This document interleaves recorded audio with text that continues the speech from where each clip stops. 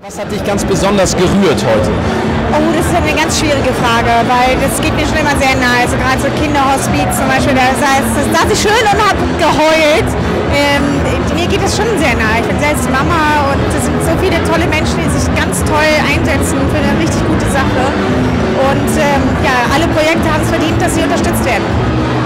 Es geht ja heute Abend darum zu spenden für verschiedene Projekte. Man kann aber natürlich auch viel im Alltag machen ohne Geld. Gibt es da etwas, was dir ganz besonders am Herzen liegt? Gibt es jemanden in deiner Umgebung, den du extra viel unterstützt? Ältere Menschen, jüngere Menschen, alleinstehende Mütter?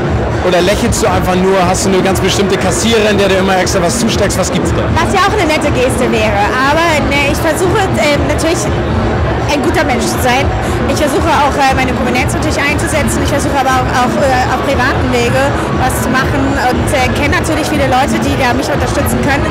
Ich habe zum Beispiel einen tollen Freund, den Hermann Lübecker, ja, der mir einfach mal Weihnachten 100 Lebkuchenpakete geschickt hat, letztes Jahr Weihnachten, die ich dann selbst eingepackt und eingetütet habe, ganz privat, ohne Presse und so weiter, habe oder also die Tafel ist eine Organisation, die äh, hilfsbedürftige Menschen unterstützt und äh, das finde ich dann toll und das mache ich dann auch gerne.